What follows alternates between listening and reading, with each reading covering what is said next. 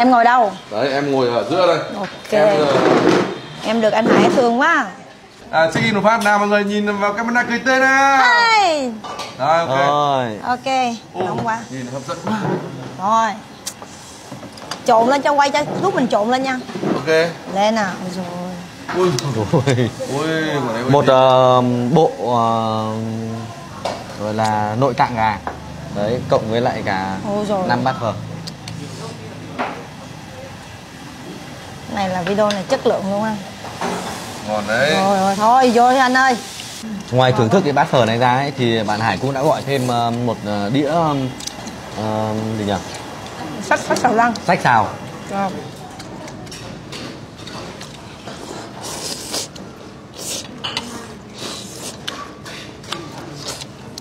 Ừ. ngon quá rồi. Mà nhìn nga ăn ngon thật đấy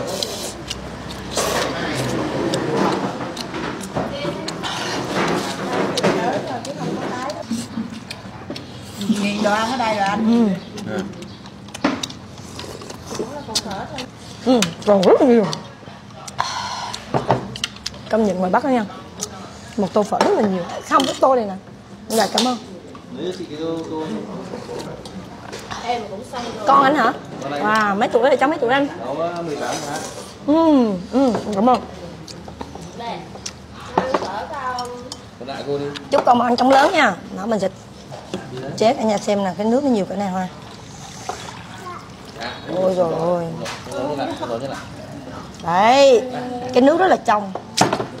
Nhìn phở nè, đó bây giờ thấy được phở nè một ờ, tô nước luôn. À, giờ mình làm à, cameraman đây nhá. Đã đưa bát cho cameraman này nữa. Không mọi người nhìn là cái đáy của nó những cái đáy cực kỳ là sâu Anh Hải nhìn nè Ôi rồi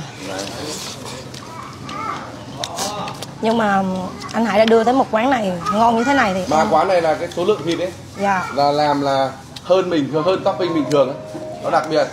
Rồi, được à, anh chủ quán anh tình cho một quả trứng bát ngát nữa này. Đúng rồi. Phật rất nhiều người bảo là sao à, nga mà với cái thân hình nhỏ bé này mà có thể ăn à, được như kiểu thạch xanh ấy. Phải nói là đây là anh em mình mắt nhìn là bằng thật luôn. Chùa cho phát biểu ý kiến cái này Này rất vui mà cũng là từ bé giờ xem nó ai ăn được như này chứ mà đúng nhìn bằng thật ra lần đầu tiên là anh chứng kiến là bạn Nga ăn ngon lành năm bát phở của anh. À, năm bát phở mà còn thêm rất nhiều thịt các thứ. Và thêm cái tay cái topping thịt là thêm à, thêm lòng gà lại trứng Thế hôm gà nay là ngoài là lô phở miễn phí thì ra thì còn tặng thêm cái gì nữa? Đây tặng thêm một à, đĩa bò để sách này Ngon. tất cả anh em. à Ngon. dạ, cảm ơn anh. Anh tình mãi đỉnh. Không, các em vào là quá là vui rồi. Mà nhìn à, anh là bán nghề này 20 năm À. Em làm lố phát này một thích nha. Chưa bao giờ từ bé bây giờ luôn năm nay tôi gần 40 tuổi rồi mà tôi chưa phát, phát hiện hợp nào. Năm nay anh bao tuổi rồi? Anh bốn năm. Bốn năm rồi chưa gặp trường hợp nào như này. Đấy một hit luôn anh nhá